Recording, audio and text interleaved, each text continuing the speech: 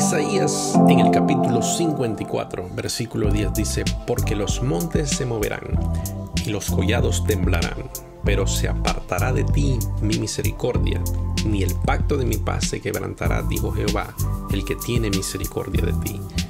Bendecido miércoles, damos gracias a Dios esta semana está pasando de una manera acelerada la última semana del año 2023. Recuerde eso, debería de estar ya listo para iniciar el próximo año, un año de gracia y favor de Dios declarado sobre nuestra vida. Una de las más preciosas cualidades del amor del Padre es que su carácter es permanente.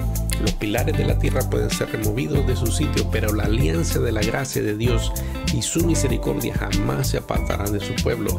Así que esto es la, satisfacción que debemos de tener al arrancar a iniciar el próximo año, inspirados sabiendo que aunque el año está tocando su fin, más el tiempo no se ha acabado, nuestro eterno Padre se va a manifestar en nuestra vida el mismo Dios, su fuerza transformadora, su gracia, su poder, todo lo que Él tiene se manifestará y su benevolencia, esa gracia, ese, poder y, que nos invita a descansar en Él nos recuerda que debemos de confiar en el pacto eterno que tenemos a través de Cristo. En Cristo Dios se ha comprometido a ser tu Dios, a ser mi Dios, a considerarte uno de su pueblo, a manifestar misericordia, a considerarte uno de sus hijos, que ni la misma eternidad podrá arrebatarlo de sus manos. Así que vamos a orar, Padre, en el nombre poderoso de tu Hijo Jesús. Te doy gracias.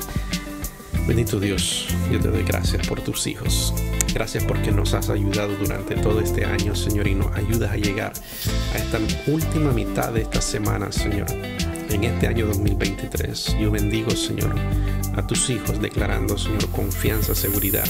Que aunque las cosas, Señor, los sistemas, el mundo alrededor nuestro sean sacudidos, los montes sean sacudidos, bendito Dios, nuestra vida estén sostenidas siempre por el poder de tu palabra. Que nuestra confianza esté en nuestro Señor Jesucristo y en ese pacto eterno que tú has hecho con nosotros a través de esa obra en la cruz del Calvario. Yo bendigo, Señor, a tus hijos en este cierre de año, declarando gracia y favor para el próximo año, puertas abiertas, transiciones, Señor, en sus hogares, en sus vidas, transiciones y cambios para bien, bendito Dios, en el nombre poderoso de Jesús. Amén. Y amén. Bendiciones.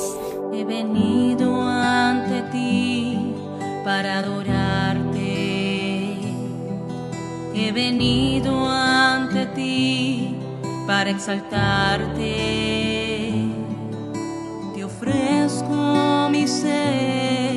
Y mi corazón. Te los entrego, mi eterno Salvador. Y es que te